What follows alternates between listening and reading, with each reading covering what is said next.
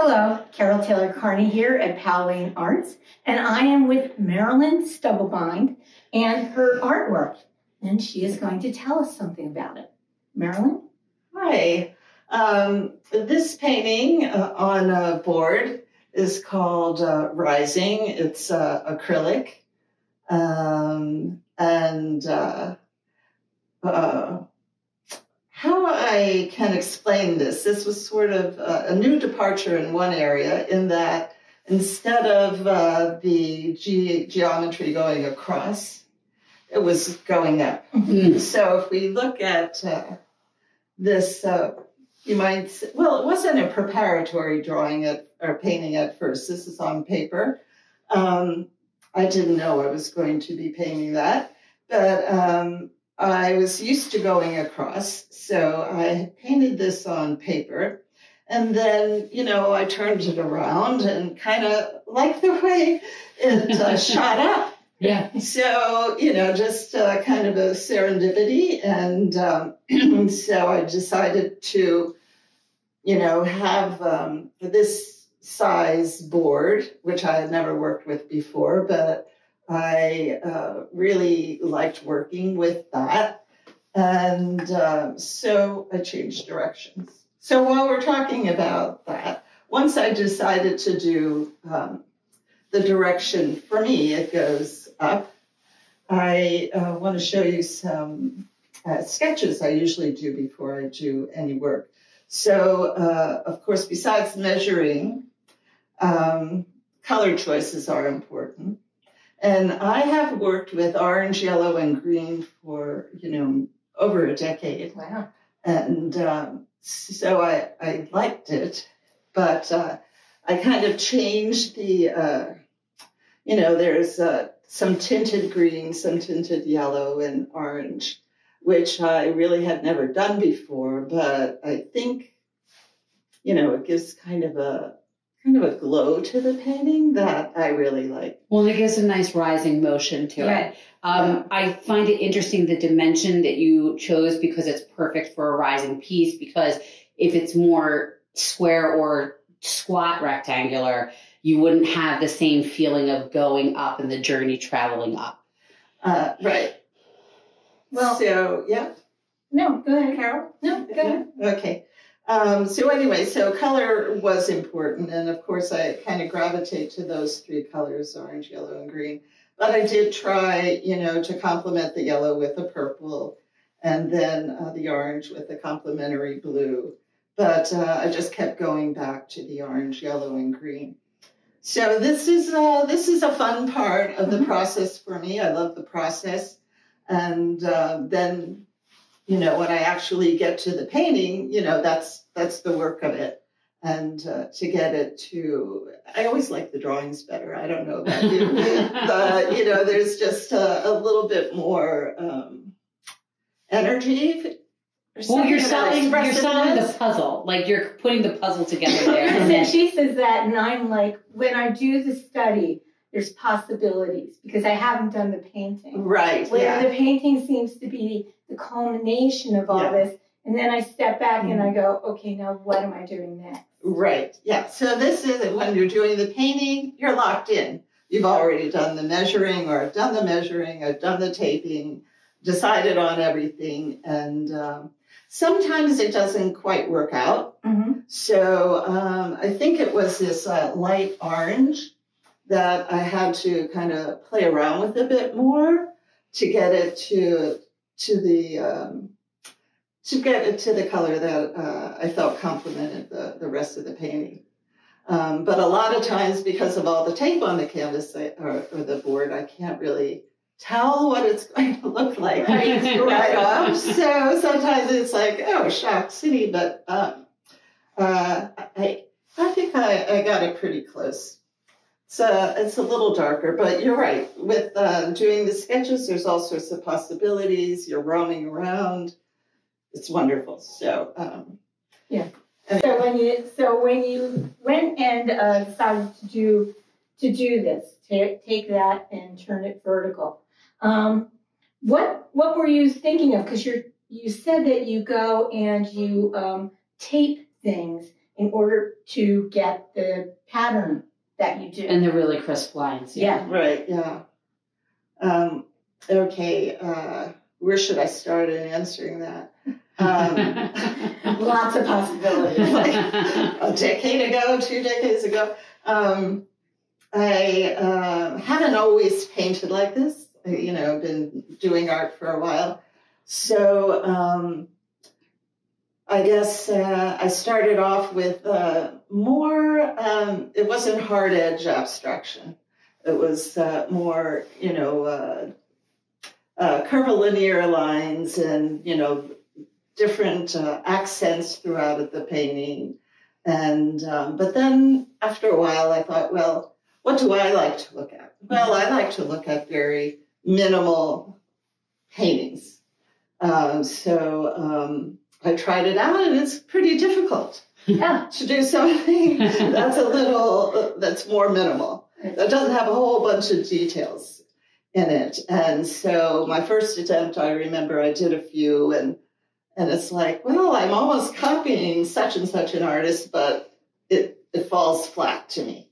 So I, I kind of pushed it aside for a long time, and then came back to it. Um, and uh, you know, and now I mostly do this, but sometimes I'll, I'll verge into other, you know, more more non-geometric uh, abstraction.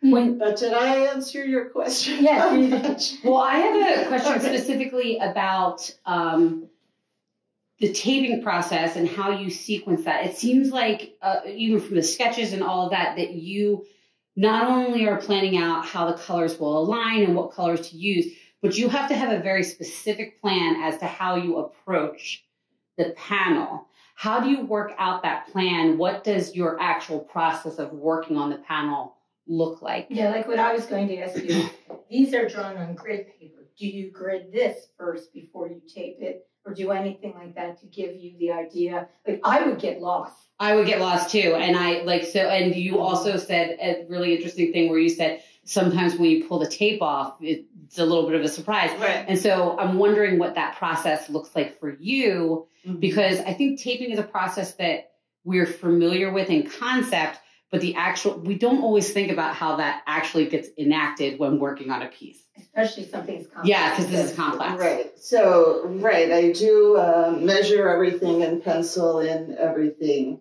uh, before I get started. So, the first thing I probably had to do was work out, you know, how big did I want these like columns?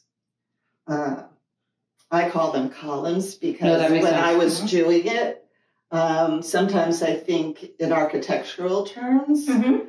And uh, this is definitely, um, you know, aligned with that kind of nonverbal thought, you know, just picture. It's picturing. architectonic. It really, Yeah. it really is. And that's not always the case in sometimes the color is the kind of the arch- architecture. So, um, but this I was really thinking of, uh, of columns. Um, so Do you work by, do you work by column?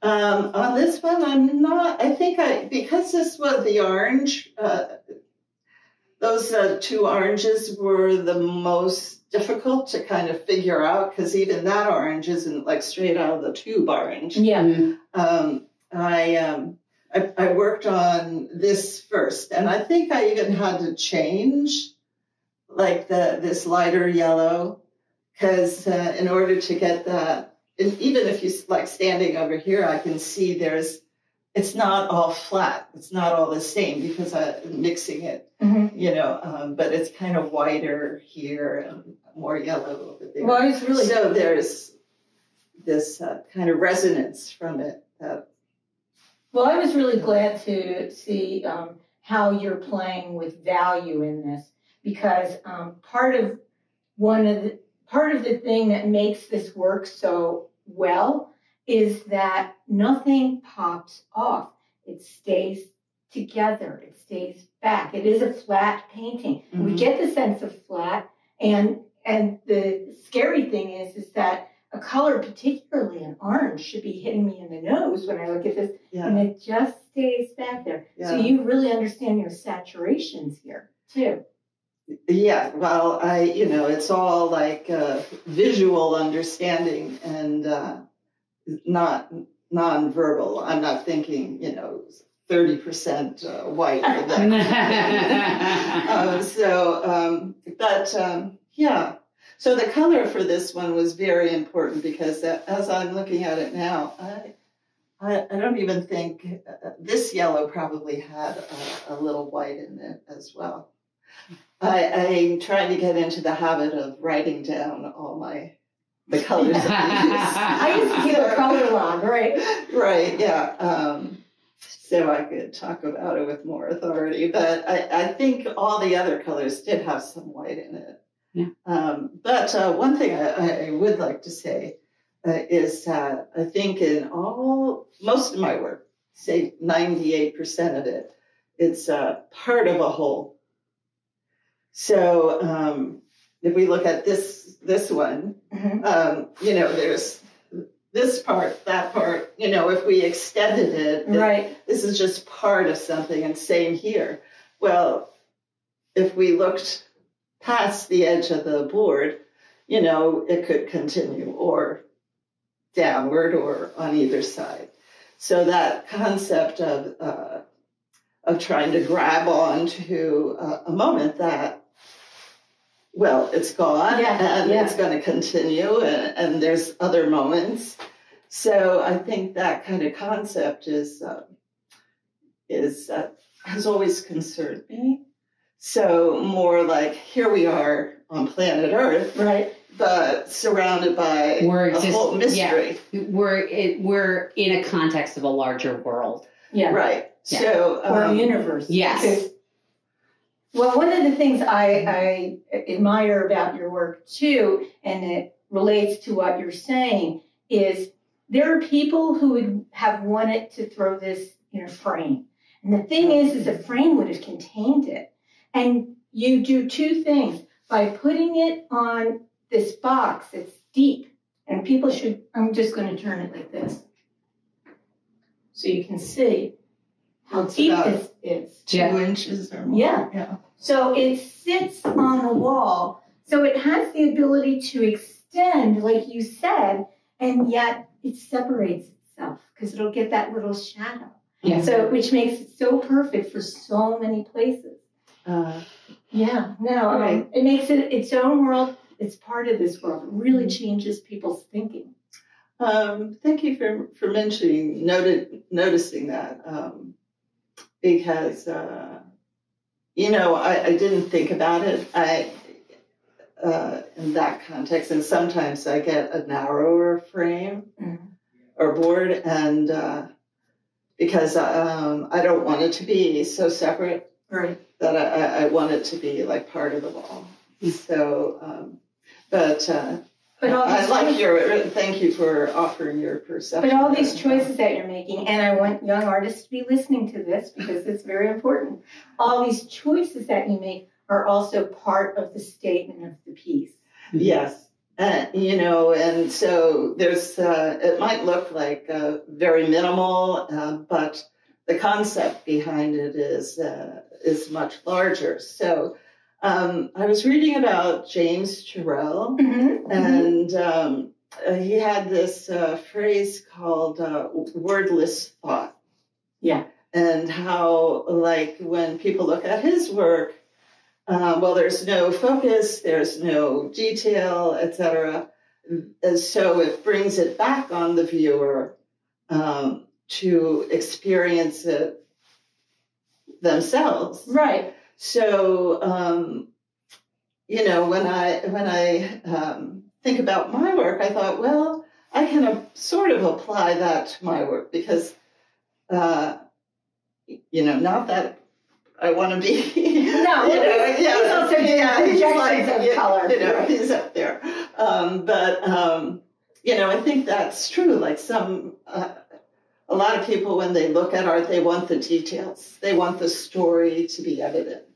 And um, here, the the story is the color, relationships, and uh, you know where does that take you, um, and just be kind of bathed in the the experience of of looking at the color, So just You know. appreciate it for what it is. Yeah, And don't don't try to insert a narrative. This is not the narrative, as far as what I can tell Mm-hmm. from what you've been saying, has more to do with how this can grow into your environment right. than um, wait. You know, there's this orange next to this orange next to this yellow with this slightly different yellow and the green. It, it's all those things. Yeah, right. Um, yeah. So, I mean, for me, like, it's always about this sense of wonder. Yeah. Yeah. And, uh, you know, so, and I think of time as well. Uh, and uh, one um, work of art from the uh, Greek relief that I always kind of have referred to as kind of amused in some way is a relief of a, um, a, a woman, a young woman, oh, sideways, walking with a, a small uh, urn, and uh, you know her one of her her foot is like raised, like Right. she's going to take that next step, and of course she's wearing this lo- you know lovely uh, robe. Um, so just that uh, it's from the past. She's going forward.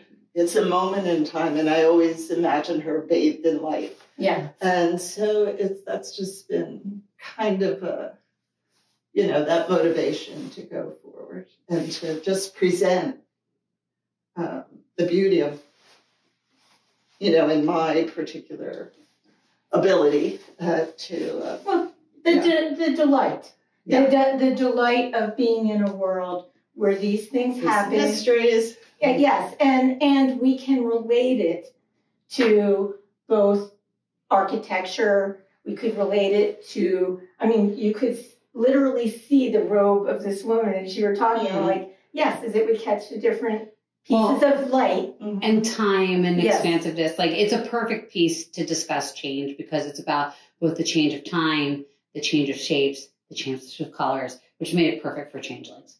Mhm. So thank you. You're welcome. Thank And- you. And thank everyone else. And we hope that you come see this at the Changeling Show at Powell Lane Arts through through November 20th.